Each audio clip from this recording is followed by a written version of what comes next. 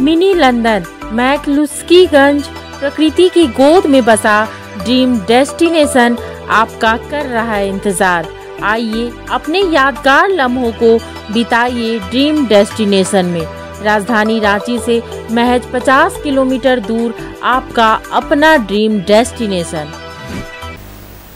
धनबाद में खराब कानून व्यवस्था को लेकर और बढ़ रही रंगदारी की घटनाओं को लेकर 30 नवंबर को व्यवसायी वर्ग गांधी सेवा सदन के समक्ष धरना प्रदर्शन करेगा। धनबाद में व्यवसायी वर्ग का आरोप है कि हेमंत सरकार व्यवसायियों को सुरक्षा देने में विफल हो गई है। इससे पहले भी व्यवसायी धरना प्रदर्शन कर चुके हैं। इस सभागार में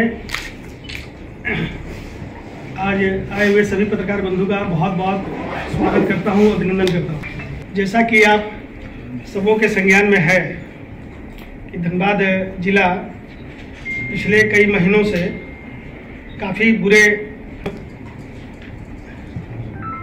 अपराध इतना चरम पर है कि लोगों का यहाँ व्यापारियों का, व्यवसायियों का व्यवसाय करना और अपने घर की ओर जाना आज ये भी निश्चित नहीं है कि सुबह अगर कोई व्यक्ति निकला है अपनी दुकान में जाने के लिए, कि शाम को सुरक्षित घर में आ जाएगा। ऐसी स्थिति आज बनी हुई है। अभी पिछले दिनों चैम्बर ऑफ़ कॉमर्स ने एक धमाद बंद कॉल किया था। भाई आगे हम लोग कदम उठा रहे हैं, अपराधियों को सलाखों के पीछे डालेंगे, और आप लोगों को किसी प्रकार का कोई डर भय की बात नहीं है, कोई कॉल्स वगैरह नहीं आएगा। जबकि उस आंदोलन के बाद, उपायुक्त महोदय के आश्वासन के बाद और अधिक कॉल आ रहा है, सारे व्यापारी भयभीत हैं। ऐसी स्थिति में मेरे जैसा एक कह लीजिए संवेदनशील कार्यकर्ता के पास इस तरह का स्टेप लेने के अलावा और कोई उपाय नहीं था कि मैंने गांधी जी की मूर्ति के समक्ष एक सत्याग्रह आंदोलन प्रारंभ करूँगा। तो अभी व्यक्तिगत आंदोलन कर। रहे हैं कितना प्रभावशाली हो सकता है ये तो ये तो उस दिन बताएगा तीस तारीख को कितने लोग आते हैं और तीस तारीख को क्या समर्थन मिलता है और बाकी आप लोग हैं? राज सिन्हा जी को और पहले आना था। सिन्हा जी से भी हमारी बात हुई। मैं अपने इस आंदोलन में भारतीय जनता पार्टी के भी पाँच लोगों को आमंत्रण भेजा है समर्थन मांगा है। उसमें हमारे माननीय सांसद महोदय को भी मैंने व्यक्तिगत व्हाट्सएप में भेजा है। विधायक जी विधायक जी को भी भेजा है और मेयर साहब को भेजा है और दोनों जिलाध्यक्ष को भेजा है। ग्रामीण और शहरी। हमारी जिलाध्यक्ष से बात हुई। है जिलाध्यक्ष ने कहा कि मेरा समर्थन रहेगा लेकिन अभी तक उनका ऐसा कोई लिखित या अखबार में नहीं आया है। कहीं ना कहीं आप भाजपा छोड़ने के बाद अगर विधायक भी अगर उतर रहे हैं आंदोलन में तो कहीं व्यक्तिगत सपोर्ट के लिए कहीं ना आ रहे हैं क्या फिर से आपके? ये तो विधायक जी बता पाएँगे ये सवाल विधायक जी के लिए अच्छा है। धनबाद में गिरती विधि व्यवस्था ध्वस्त विधि व्यवस्था बेलगाम कानून आपराधिक गतिविधि लगातार बढ़ रही है। तो कई दिनों से यहाँ के जो व्यवसायी वर्ग हैं लगातार उन पर हमला हो रहा है लगातार उन लोगों को रंगदारी से रिलेटेड फ़ोन कॉल्स आ रहे हैं। और नहीं देने पे गोली भी मारी जा रही है और गोली मारने के बाद एक घंटे के बाद फिर पुनः पर्चा जारी हो जाता है। जो पिछले बार हम लोगों ने देखा, दीपक अग्रवाल नामक जो कार सेंटर के व्यवसायी थे, उनको गोली लगी और लगभग 15-20 मिनट के बाद एक नया पर्चा जारी हो गया कि ये तो अभी टेलर है, पिक्चर अभी बाकी है। उसके बाद से लगातार व्यापारी दहशत में है। बैंक मोड़ जैसे इलाका जो रात दस बजे तक गुलजार रहता था, आज आठ बजे बंद होना शुरू हो गया। जो व्यवसायी कॉलर टाइट करके सीना तान करके अपने व्यापार को में बैठते थे काउंटर में बैठते थे। आज वो दुबक गए। आज वो सामने काउंटर में बैठने से परहेज करने लगे। वो अपने स्टाफ को बैठा रहे हैं। कुछ व्यापारी लोग धनबाद छोड़ने का निर्णय ले लिया है।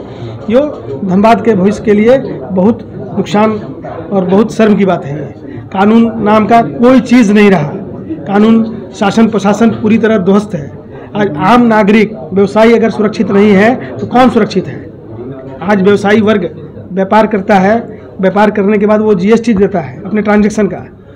जीएसटी से सरकार को लाभ होता है और जीएसटी देने के बाद वो जो शुद्ध मुनाफा करता है उसका इनकम टैक्स भी देता है। आज व्यापारी वर्ग देश भर में सबसे ज़्यादा रेवेन्यू देने वाला कोई वर्ग है वो व्यापारी वर्ग है। व्यवसायी समाज है जिससे पूरा तंत्र चलता है। आज अगर वो सुरक्षित नहीं है तो कौन सुरक्षित है? पुलिस प्रशासन के द्वारा तो कई बड़ी कार्रवाई भी की गई है इसके दौरान। कार्रवाई की गई है। क्राइम कहाँ रुक रहा है? आज धनबाद के जो एसएसपी हैं, ये यहाँ डीएसपी के रूप में पहले कार्यरत थे। लगा था कि ये आएँगे तो धनबाद में कुछ नया करेंगे। धनबाद में पहले भी कुछ एसएसपी एक लंबी गाथा लिख के गए हैं। एक बड़ी प्रतिमा रणधीर चौक में लगी है, स्वर्गीय रणधीर प्रसाद वर्मा जी का, जो इतिहास है। मुरारी लाल मीना अनिल पाल्टा, सुमन गुप्ता, एक महिला पुलिस अधिकारी अकेली, आज तो एक एसएसपी के नीचे दो एसपी है। एक ग्रामीण एसपी एक सिटी एसपी है। उस हो इस समय उस समय वो अकेले हुए करते थे। अकेले ही सुमन गुप्ता पूरे धनबाद को कंट्रोल किए हुए थे आज मॉडल थाना बन रहा है। नई नई गाड़ियाँ मिल रही है। आधुनिक हथियार मिल रहे हैं। उसके बावजूद पुलिस हाथ पे हाथ धर के बैठी है और क्राइम लगातार हो रहा है। जब टूटती है आस जब थकती है सांस जब रूठते हैं अपने मुँह मोड़ता है जमाना। जब अंगड़ाई लेता है संकल्प, फिर बनती है कहानी। बनते हैं अनमिट निशान।